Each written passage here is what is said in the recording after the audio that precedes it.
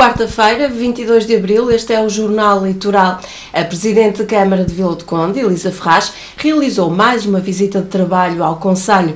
Todas as terças-feiras, a Presidente da Autarquia Vila Condense visita as populações e associações das várias freguesias. Desta vez, Elisa Ferraz esteve de visita à Guilhabreu, a, a visitar então a freguesia e foi recebida entusiasticamente por muitos alunos das diversas escolas.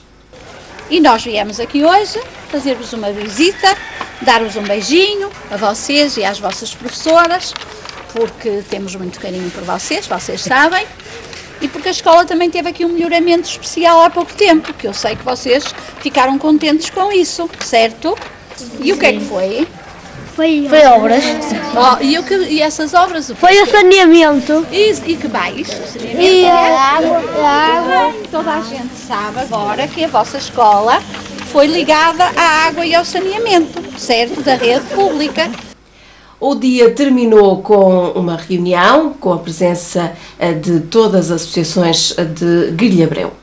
Foi uma visita muito agradável, proveitosa. eh, Vimos coisas que, que realmente interessam à freguesia, interessam à população e sentimos o reconhecimento da Câmara e uma resposta positiva também. Levo no coração este carinho todo que me foi aqui testemunhado e que acaba sempre por nos tocar profundamente porque sentimos que realmente as pessoas apreciam o nosso trabalho e que eh, reconhecem a nossa vinda como importante. Depois, este conhecimento que no terreno conseguimos auscultar relativamente a algumas dificuldades que estão instaladas, algumas delas que têm solução imediata, outras que levamos daqui para pensar.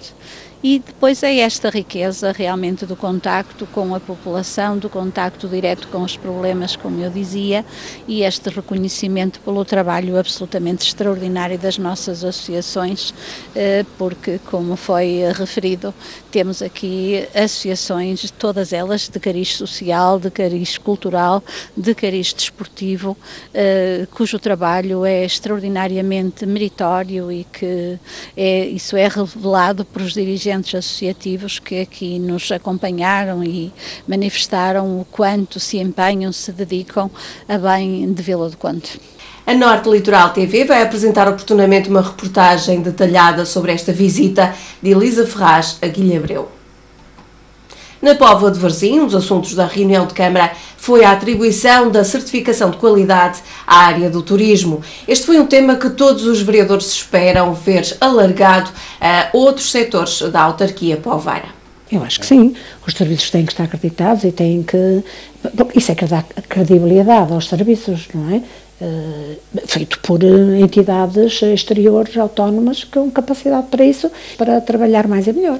Uma proposta para o Regulamento Interno do Serviço Municipal de Turismo decorrente à auditoria ao Sistema de Gestão da Qualidade. Eu, a este propósito, gostava de dizer que veria com muito bons olhos que se estendesse a certificação do Sistema de Gestão da Qualidade, que não assegura necessariamente que as coisas sejam bem feitas, gerir com indicadores, eh, de uma forma muito mais factual, aquilo que estamos a fazer, nomeadamente aquilo que é a qualidade percebida pelos clientes, na terminologia das empresas, pelos utentes dos serviços públicos, se falarmos na terminologia das câmaras municipais, e, portanto, eu veria com bons olhos que estendêssemos esta certificação a outras valências do município, eh, inclusive, e talvez eu desse prioridade eh, à, à divisão de ambiente e serviços urbanos, nomeadamente eh, à loja do ambiente e a esse interface de relacionamento com, eh, com a, a população, parecer-me extremamente útil que fizéssemos uma abordagem mais eh,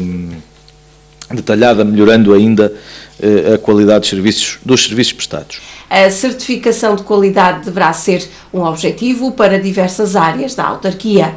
foi aprovado o regulamento interno do Serviço de Turismo da Póvoa de Varzim, que tem a ver com a acreditação de qualidade desse serviço e que, eh, como se viu, e a vereadora eh, do respectivo Pelouro disse-o ali dentro, que eh, já, já houve uma primeira avaliação e que é- está tudo em conformidade de acordo com a avaliação que foi feita. É o E, início de portanto, uma- é o início de um processo que esperemos que se estenda a outros serviços da Câmara Municipal. Iremos ver outros serviços que possam ter também essa acreditação de qualidade. José Festas foi reeleito presidente da Associação para a Maior Segurança dos Homens do Mar por mais quatro anos. Apesar de ter mostrado vontade de se afastar da direção da Associação para a Maior Segurança, a lista encabeçada por José Festas foi a única que se apresentou a estas eleições, em que votaram cerca de um terço dos sócios da associação. Foi o Jornal Litoral no Dia da Terra. Já sabe toda a informação em atualização constante na página Notícias da Norte Litoral TV. Estamos também na Mel Interativa, na posição 18 25 15 e uh, na internet ou na Mel uh, estamos sempre consigo em qualquer parte do mundo. Fique bem na companhia da Norte Litoral TV.